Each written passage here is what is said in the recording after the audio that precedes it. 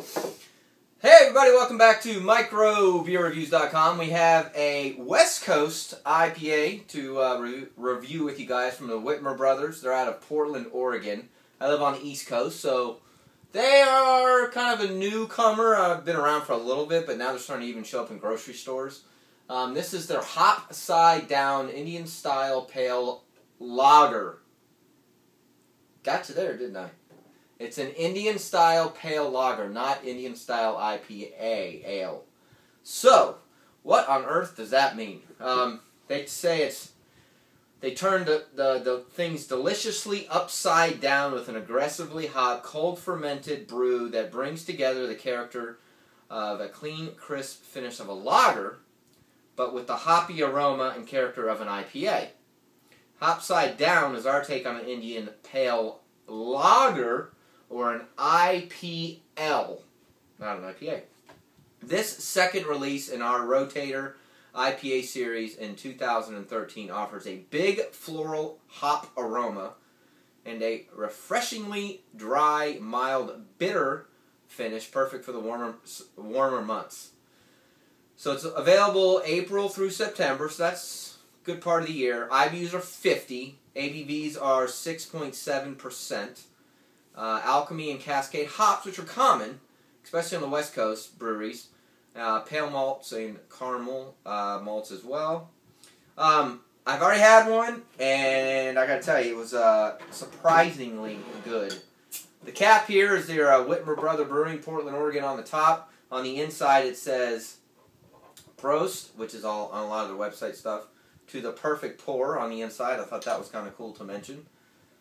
Um, color wise, it, it looks a little um, less caramely than some of the um, IPAs. It does look more like a lager, hence, and so it should. More of a, a golden uh, straw color uh, with a little bit of caramelization. Nice white frothy head on it. Sticks around for a while. Um, it smells really interesting because it's got a little bit of what I call the sweetness of a lager in, in terms of the way it smells, but you can clearly tell there's hops in there which are two things you're not used to mixing. Um, it, it's not real overpowering, but it almost has that corn sweetness to it in the background. Um, as far as taste is concerned, it is very clean. It is very easy to drink. It is very um, just easy to swallow, which is one of those things that, that I appreciate in a good beer. It's very, very clear and very filtered. Um, it does have a nice hop finish to it um, on the back end and a little bit on the front end. It's a little bit on the sweet side. It should be. Um, but here again, most people are used to IPAs. They want something a little more bitter. It's not that. That is not the case here. IBUs are only 50. And the only other thing I'll mention is the, the floral aroma. It does have a nice um, hot floral aroma, which I like a lot. Um, but here again, it's not very strong compared to most IPAs. So it's an interesting twist. A little bit more sweetness, not as hoppy. Got a nice hoppy background to it. Very clean and clear and easy to drink. Um, nice finish to it. They talk about summer month. This would be awesome in a cooler full of floating ice at very cold temperatures, in my opinion. On a really hot day, whether you're going to have one or more than one, you could definitely do that with this beer. Uh, I think I paid nine, maybe at most ten dollars for a six pack.